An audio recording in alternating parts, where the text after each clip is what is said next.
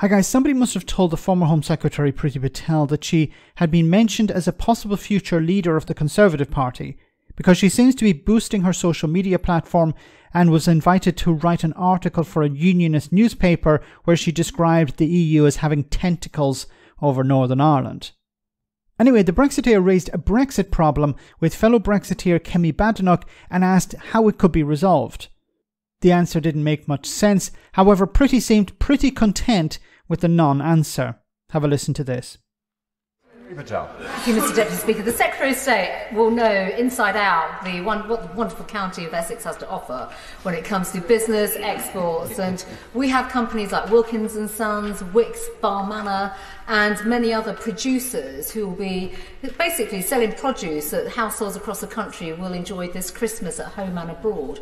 Can she highlight, please, what she is doing, working across government with other departments to reduce the barriers to export that cover, for example, produce, manufacturing costs, energy costs, and even the processing of animals? Barriers to export. You have a Brexiteer Priti Patel standing up in the House of Commons asking another Brexiteer minister, What are you doing to bring down barriers to export or barriers to trade? Just think about that for a moment. Somebody who campaigned for, for barriers to trade is now standing up in the House of Commons asking, How do we bring down barriers to trade?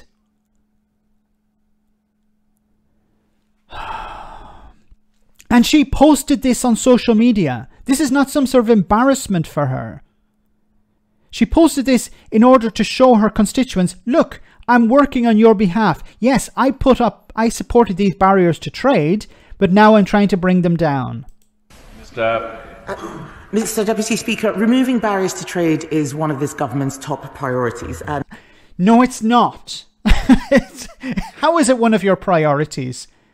Both of you are Brexiteers. Both of you still believe it was a good idea to put up barriers to trade. So, how can you say it's a priority to bring down barriers to trade?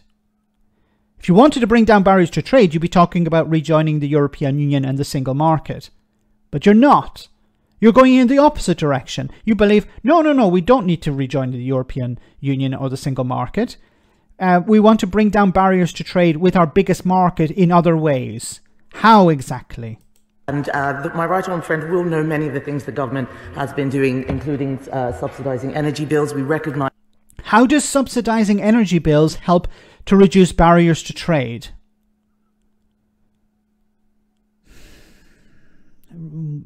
If you're exporting something, the cost of the energy well, if you're able to reduce the cost of the energy, maybe it's easy. It's it's cheaper to produce the product.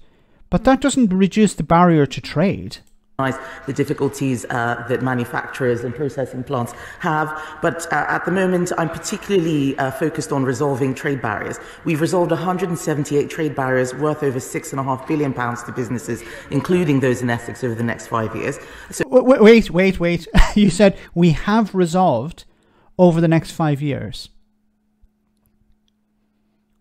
Sorry, you either have resolved them or they will be resolved over the next five years. Which is it? It can't be we have resolved and then it will be resolved in the future. It's either resolved now or it is it will be resolved in the future. Which is it?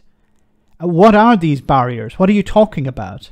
So, food producers uh, in her constituency specifically will be pleased to know that just last month, when I was in Japan for the G7, we resolved a barrier restricting exports of cooked poultry from the UK to Japan. Um, it doesn't seem to be the case that the UK government resolved this. This was re- related to avian flu, and the and the Japanese government have reduced, have taken this barrier to trade away, but tr- taken this barrier to trade away to the European Union and Britain. So this isn't actually a Brexit benefit. Now I may be mistaken because she's not giving us a lot of detail here, but it seems this is something that the um, the the Japanese government have taken away from pretty much all imports. so it's not actually a Brexit benefit. Which I think uh, will provide a festive boost to UK exporters worth an estimated £10 million over five years. £10 million over five years. 10 million pounds, not 10 million pounds per year, 10 million pounds over five years. So, on the one hand, there's a drop in GDP of 4%, or 4% of GDP has been lost because of Brexit. But don't worry, we have on the other side of the scale 10 million pounds every year. No, not every year, but over five years. Isn't that great? 10 million pounds over five years.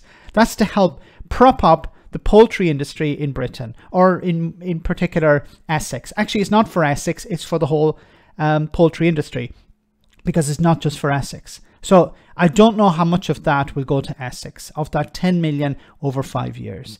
Absolutely pathetic.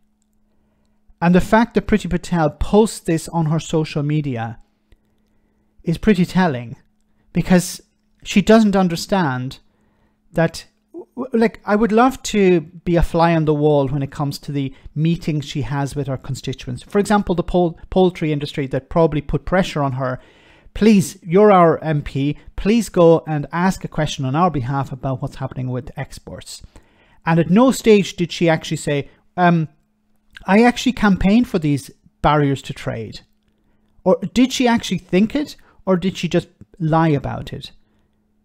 Did the people who are asking her to represent her, represent them, did they ask her about her campaigning for these barriers to trade? Did she respond and say, actually, we're going to be able to bring them down? Or did she lie? It's all very mysterious. Let me know in the comment section, guys, what you think. As always, your comments are greatly appreciated. Thanks a lot.